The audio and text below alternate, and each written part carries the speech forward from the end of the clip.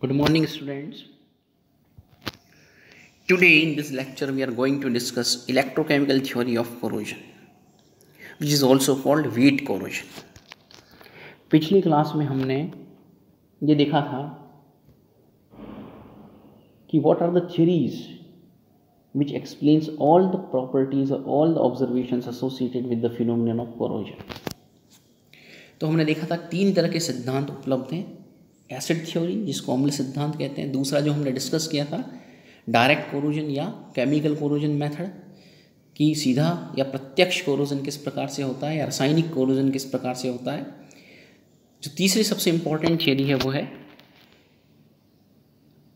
संक्षारण का विद्युत रासायनिक सिद्धांत इलेक्ट्रोकेमिकल थ्योरी ऑफ़ कोरोजन जिसे वेट थ्योरी या नम सिद्धांत भी कहते हैं, क्योंकि इस प्रक्रिया के लिए वातावरण में नमी या मॉइस्चर यानी जलवाष्प का उपस्थित होना आवश्यक है।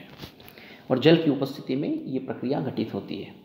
तो आइए आज डिटेल में हम देखेंगे what is electrochemical theory of corrosion और वेट कोरोजन थ्योरी अर्थात संरक्षण का नम सिद्धांत, या हम कह सकते हैं विद्युत रासायनिक सिद्धांत, जिसके द्वारा संक्षारण की प्रक्रिया को हम समझ सकते हैं। तो इस प्रक्रिया के लिए दो चीज़ों की आवश्यकता होती है। सबसे पहले what are the two main requirements दो मुख्य आवश्यकताएँ क्या होती हैं? तो चूँकि प्रक्रिया या विद्युत रासायनिक है तो ठीक जिस प्रकार से विद्युत रासायनिक सेल में या गैल्वेनिक सेल में हमें आवश्यकता होती है कि एक क्षेत्र एनोड होता है, दूसरा इलेक्ट्रोड कैथोड होता है और इनके बीच में इलेक्ट्रोलाइट या विद्युत अपघट्य उपस्थित होता है और ये परस्पर बाहर एक विद्युत तार द्वारा संपर्कित होते हैं, जिससे इलेक्ट्रॉन का आदान प्रदान हो सकता है। ठीक उसी प्रकार यहाँ पर भी हम देखते हैं दो मूलभूत आवश्यकताएँ होती हैं। एक तो धात्विक सतह पर एनोडी और कैथोडी क्षेत्रों का निर्माण होना चाहिए, है ना? अर्थात जो मेटल की सरफेस है, उस पर एनोड रीजन जहाँ ऑक्सीकरण होता है और कैथोड रीजन जहाँ अपचयन होता है। ऐसे अलग अलग क्षेत्रों का निर्माण होना चाहिए। और दूसरा, कैथोडियम एनोडीय क्षेत्रों के मध्य क्या होना चाहिए? इलेक्ट्रॉन प्रवाह हेतु विद्युतीय संपर्क होना चाहिए। अर्थात धातु की सतह पर जहाँ एनोड क्षेत्र बनते हैं, कैथोड क्षेत्र बनते हैं, उनके बीच इलेक्ट्रॉन का प्रवाह हो, उसके लिए क्या होना चाहिए? संपर्क होना चाहिए। और इसके लिए विद्युत अपघट्य भी उपस्थित होना चाहिए इलेक्ट्रोलाइट भी अवेलेबल होना चाहिए। सो ये मुख्य आवश्यकता है जिसके द्वारा ये प्रक्रिया संपन्न हो सकती है। और इससे समझ में आता है कि क्यों नमी की या मॉइस्चर की ज़रूरत इसमें होती है और इसलिए इसको हम वेट कोरोजन या नम सिद्धांत भी कहते हैं, जिसके द्वारा हम संक्षारण की प्रक्रिया को समझ सकते हैं। तो इसकी सामान्य जो एक क्रियाविधि होगी जनरलाइज मैकेनिज्म होगी फॉर एनी मेटल वो क्या होगी? तो एनोड जो रीजन होगा मेटल का, वो क्षेत्र जो एनोड बनेगा। अक्सर धातु के वो क्षेत्र एनोड बन जाते हैं, जहाँ स्क्रेचेस डेवलप हो जाते हैं, या जहाँ कुछ इम्प्योरिटीज़ होती हैं, क्योंकि प्योर मेटल शुद्ध धातु में वांछित गुण नहीं होते, वो बहुत अधिक उपयोगी नहीं होती है। इसलिए जो हम धातु की चीज़ें इस्तेमाल करते हैं, जो धातु के उपकरण हम इस्तेमाल करते हैं, उनमें प्राय अशुद्धि होती है। तो जहाँ अशुद्धि होती है, वो एरिया एनोड बना लेता है। तो अक्सर, या जहाँ पर बैंड्स होते हैं माउल्ड्स होते हैं अलग अलग तरह की सांचों में उन्हें ढाला जाता है तो शेप्स होती हैं, धातु की वे सतहें वो आसानी से एनोड बन जाती हैं। वहाँ क्या होता है कि कोई भी मेटल जो सॉलिड फॉर्म में वो इलेक्ट्रॉन त्याग करके, क्या करेगा? बाय लॉस ऑफ़ इलेक्ट्रॉन जिसको मॉक्सीकरण कह रहे हैं, ये एनोडी क्षेत्र उत्पन्न करेगा। जैसे हम लोहे पर जंग लगने का उदाहरण देखें, जो कि संक्षारण का सबसे सामान्य उदाहरण है तो हम देखते हैं लोहा एफ़ ई टू प्लस में ऑक्सीकृत हो जाता है और दो इलेक्ट्रॉनों का त्याग करता है। तो यह ऑक्सीकरण अभिक्रिया धातु सतह के जिस क्षेत्र पर होती है उसको हम एनोडी रीजन कहेंगे, क्योंकि एनोड पर ऑक्सीकरण होता है, अर्थात इलेक्ट्रॉन का त्याग। तो वो एनोडी क्षेत्र का कार्य करेगा। ठीक है? अगर हम कैथोडी क्षेत्र की बात करें कैथोडी क्षेत्र पर क्या होगा? कैथोडी क्षेत्र के ऊपर भी कुछ अभिक्रियाएँ होंगी जो अपचयन अभिक्रिया होंगी, क्योंकि कैथोड उस क्षेत्र को कहते हैं या उस इलेक्ट्रोड को कहते हैं जिस पर अपचयन होता है। तो यहाँ धातु की वो सतह या मिश्र धातु की वो सतह जिस पर अपचयन की अभिक्रिया रिडक्शन हो रहा है, उसको हम कैथोड बोलेंगे। फॉर एग्ज़ाम्पल जैसे एच प्लस आयन अगर उपलब्ध हैं तो वो इलेक्ट्रॉन ग्रहण करके जो एनोड क्षेत्र पर इलेक्ट्रॉन उत्पन्न हुए हैं, वो क्या होंगे? विद्युत संपर्क द्वारा धातु की सतह से प्रवाहित होकर के कैथोड क्षेत्र पर आएँगे और यहाँ आकर एच प्लस आयन इलेक्ट्रॉन्स को ग्रहण करेगा, जिससे हाइड्रोजन का निर्माण होगा और इसको हम अपचयन कह रहे हैं। तो इस प्रकार की रिडक्शन प्रोसेस कहाँ होती है? किथोर रीजन के ऊपर हो सकती है। उसी प्रकार से कई बार अगर नमी उपस्थित है तो नमी में वायुमंडलीय ऑक्सीजन अगर उपलब्ध है तो वो घुल जाएगी और एनोड क्षेत्र से आए इलेक्ट्रॉनों को ग्रहण करके वो हाइड्रोक्साइड आयन बनाएगी।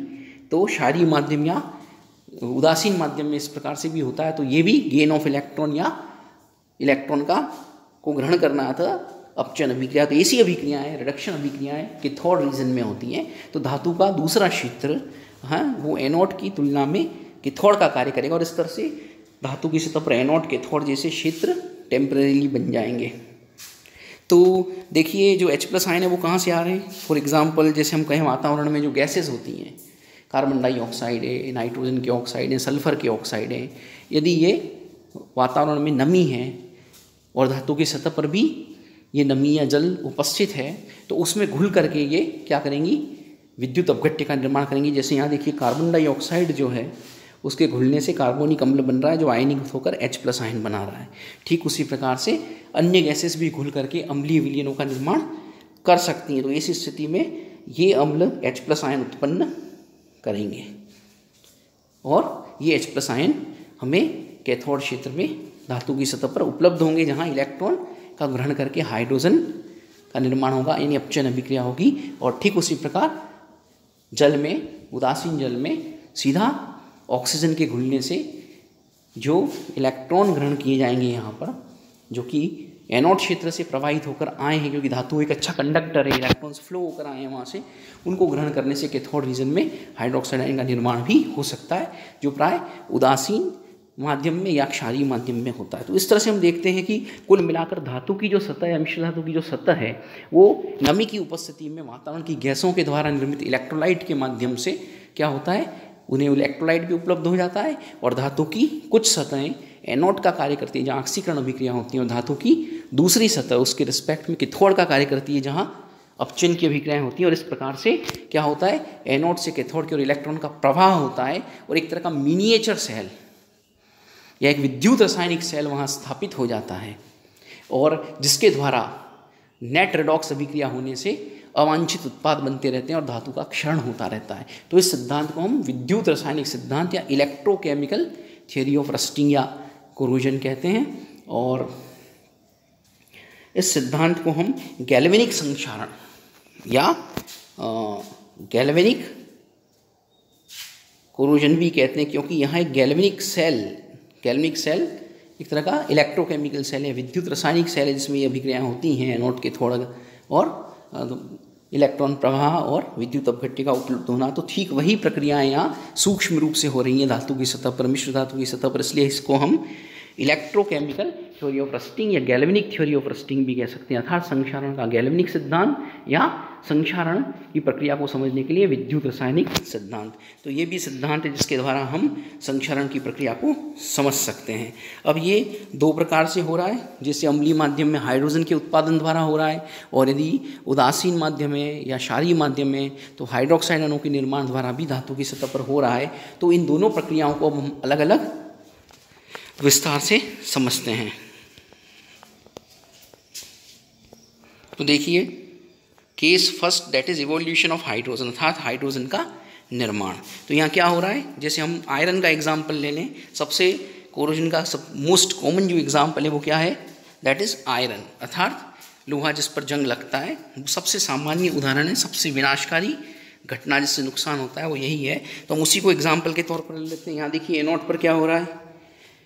आयरन ऑक्सीकृत हो रहा है इलेक्ट्रॉन का त्याग करके। और कैथोड पर क्या हो रहा है? अम्लीय वातावरण। अम्लीय वातावरण कैसे उत्पन्न हुआ? गैसों के नमी में घुलने के कारण, है ना?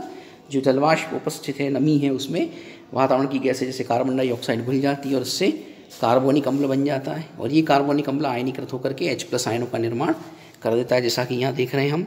अब इससे क्या होगा? अगर ऑक्सीजन अनुपस्थित है तो ऐसी स्थिति में ये एच प्लस आयन एनोड क्षेत्र से जो इलेक्ट्रॉन आए, प्रवाहित होकर के धातु की सतह चालक या तो इलेक्ट्रॉन जो कि एनोड क्षेत्र उत्पन्न हुए हैं, ये एनोड क्षेत्र से कहाँ आ जाएँगे? कैथोड क्षेत्र पर। और यहाँ आकर के, और ये इलेक्ट्रॉन जो हैं, वो एच प्लस आयन ग्रहण करके हाइड्रोजन का उत्पादन करेंगे। तो इस तरह से हम देखते हैं कि इस प्रक्रिया में हाइड्रोजन उत्पन्न होता है। और कुल अभिक्रिया क्या हो गई एनोड के थोड़ के मिलाकर? तो दोनों अभिक्रियाओं को जोड़ने पर हम देखेंगे कि F in presence of H plus ion of electrolyte obtained it will give on the surface F E two plus ion and hydrogen gases produce तो इस कारण से क्या होता है? धातु आयनों के रूप में परिवर्तित होकर घुलता जाता है और क्षरण होता है उसका। तो ये कहलाता है evolution case first of hydrogen mechanism या mechanism by in which hydrogen is produced and with evolution of hydrogen metal dissolve in form of ion and it undergoes deterioration gradually okay तो ये चीज़ यहाँ आप देख सकते हैं। नाउ नेक्स्ट हम देखें ये दूसरा केस है जो ऑक्सीजन की उपस्थिति में होता है। इसके पहले यहाँ हम डायग्रामेटिक रूप से इस चीज़ को समझ सकते हैं कि हाइड्रोजन इवोल्यूशन का जो मैकेनिज्म है, जो हमने देखा, जिसकी जो प्रक्रिया है, उसको यहाँ हम एक पिक्टोरियल रिप्रेजेंटेशन एक चित्रात्मक रूप से समझ सकते हैं कि यहाँ पर क्या हो रहा है कि ये लोहे की सतह है और इस लोहे की सतह पर आप देखिए यहाँ किस प्रकार से ये एनोड रीजन बन गया है। This is the anode region this is anode region है ना? और ये बीच में एक स्मॉल कैथोडिक एरिया का निर्माण यहाँ हो रहा है। करेक्ट ये आयरन की सतह है। अब जो H प्लस आयन है, यहाँ पर हम देखें किस प्रकार से एफ़ जो है, वो एनोड क्षेत्र में ऑक्सीकृत हो रहा है। वो बना रहा है एफ़ से F two plus ion correct और इलेक्ट्रॉन्स एनोड से कैथोड क्षेत्र की ओर प्रवाहित हो रहे हैं। एनोड से कैथोड क्षेत्र की ओर इलेक्ट्रॉन का प्रवाह यहाँ हो रहा है। यहाँ जाकर के जो एच प्लस आयन हैं, जो कि किस तरह से बने हैं? जो इलेक्ट्रोलाइट या एसिडिक सॉल्यूशन है, जो वातावरणीय गैसों के नमी या जल में घुलने से प्राप्त हुआ है और उस प्रकार बनने वाले अम्लों के आयनीकरण से धातु की सतह पर जो H प्लस आयन है, वो यहाँ उपलब्ध हैं। तो ये इलेक्ट्रॉन कैथोड पर H प्लस आयन को क्या करेंगे, अपचयित करेंगे, जिससे हाइड्रोजन गैस यहाँ उत्पन्न हो रही है। तो इस तरह से हम देख सकते हैं diagrammatically it is very clear crystal clear कि किस प्रकार से हाइड्रोजन का उत्पादन हो रहा है। So this is called hydrogen evolution mechanism and its diagrammatic representation correct तो इसे इस तरह से समझ के अब आगे देखते हैं हम कि दूसरी जो केस है that is by absorption of oxygen यदि ऑक्सीजन उपलब्ध है और वातावरण की ऑक्सीजन का अगर अवशोषण हो जाता है नमी या मॉइस्चर द्वारा जो मेटल की सरफेस या अलॉय की सरफेस को फिर कोरोजन के लिए आगे इलेक्ट्रोलाइट प्रोवाइड करेगी। तो यहाँ देखिए किस प्रकार से यहाँ संक्षारण होता है। तो इस प्रकार का जो संक्षारण होता है वो क्या हो सकता है? ये हो सकता है उदासीन या क्षारीय माध्यम के अंदर। ये बहुत इंपॉर्टेंट है कि अगर न्यूट्रल मीडियम है, कोई एसिडिक इलेक्ट्रोलाइट अवेलेबल नहीं है, उस केस के अंदर सिर्फ़ मॉइस्चर की प्रेजेंस में न्यूट्रल मीडियम में या बेसिक मीडियम में है ना? Because hydroxide ion are produce basic medium भी हो जाता है बहुत जल्दी। तो उस शारी माध्यम में किस प्रकार से यहाँ पर आ, होगा? ये देखिए। फिर जो आयरन ऑक्साइड बना है धातु की सतह को ढक लेता है पर उसमें ज़्यादा स्क्रेचेस डेवलप हो गए हैं। वो एरिया आसानी से एनोड बन जाता है वहाँ ऑक्सीकरण होने लग जाता है और शीर्ष सतह उसकी तुलना में कैथोड का कार्य करने लगती है।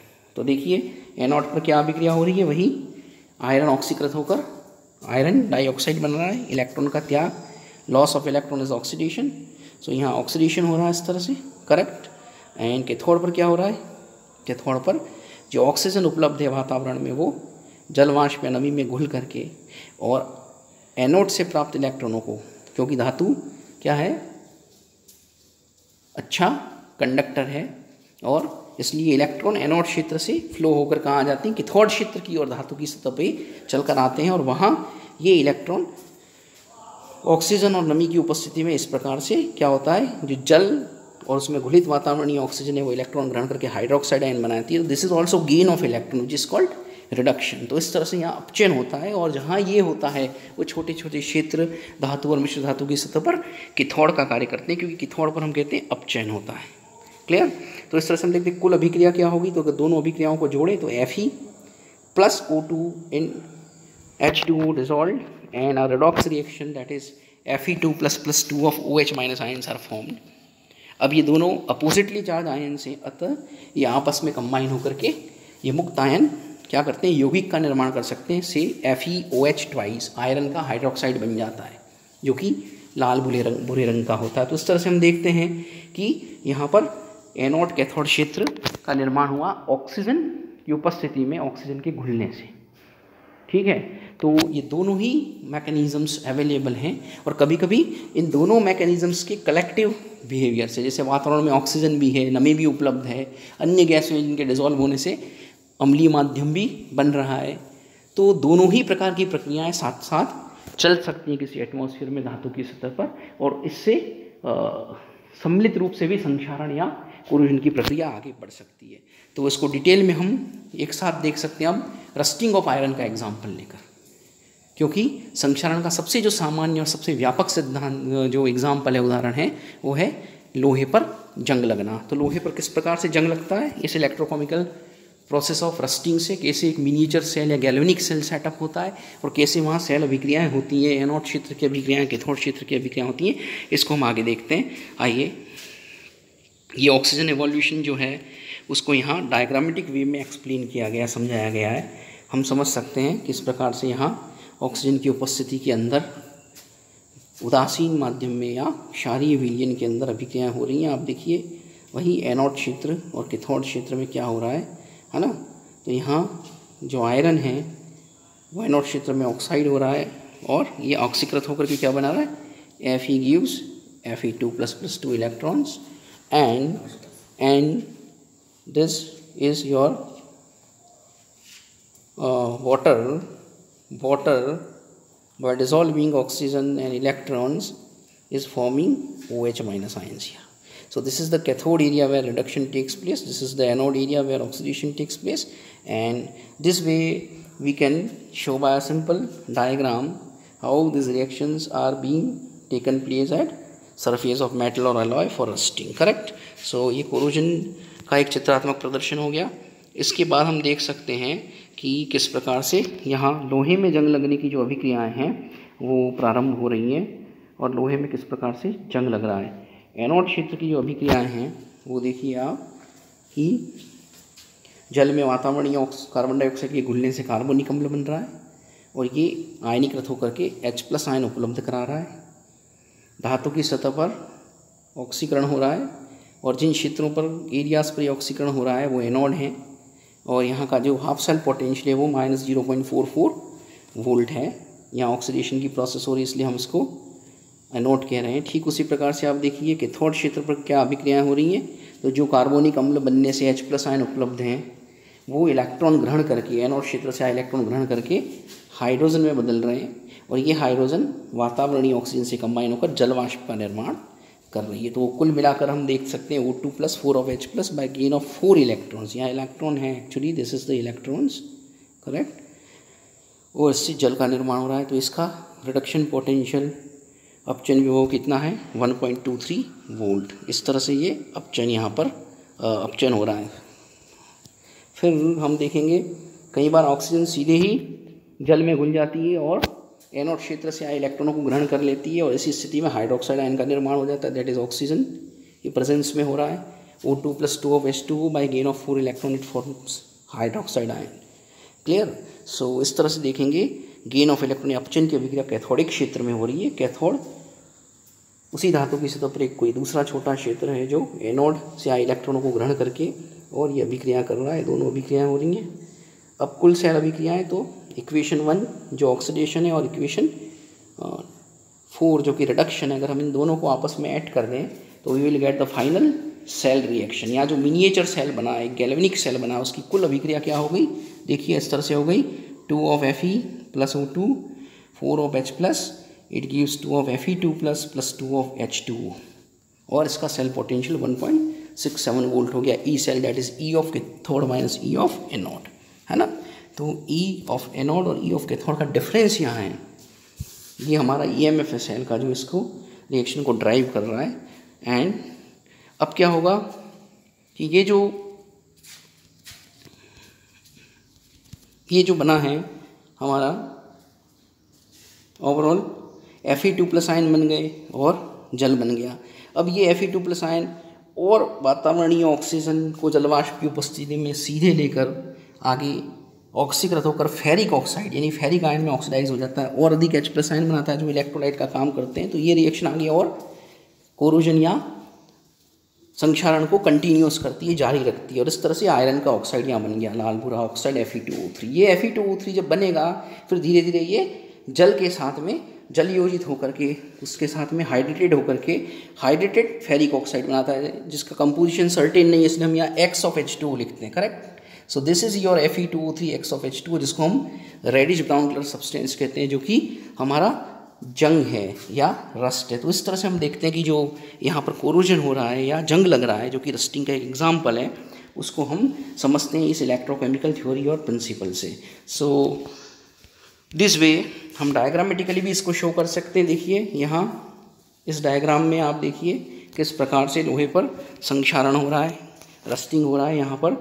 आयरन का एक ब्लॉक दिखाया गया है डायग्राम में, और इसमें ये दिखाया गया है कि किस प्रकार से एक एरिया, एनोड का काम कर रहा है जहाँ आयरन ऑक्सीकृत हो रहा है, इलेक्ट्रॉन उत्पन्न हो रहे हैं। ये इलेक्ट्रॉन यहाँ से फ्लो होकर धातु की सतह पर कैथोडिक रीजन्स की ओर जा रहे हैं, जहाँ पर जो ये वाटर की ड्रॉपलेट दिखाई गई है यहाँ, उसमें गुली हुई गैसेस वगैरह जो हैं, और उससे बने हुए जो आयन हैं एच प्लस ये किस प्रकार से एनोड से फ्लो होकर आए इलेक्ट्रॉन्स को ग्रहण करके रिडक्शंस या चेन की अभिक्रियाएँ शो कर रहे हैं, जिससे जल और हाइड्रोक्साइड आयन उत्पन्न हो रहे हैं और जो आगे मैंने अभिक्रियाएँ दिखाई हैं, उसके द्वारा फाइनली इसमें किस प्रकार से एक कंपाउंड रस्ट यहाँ डिपोजिट होता जा रहा है।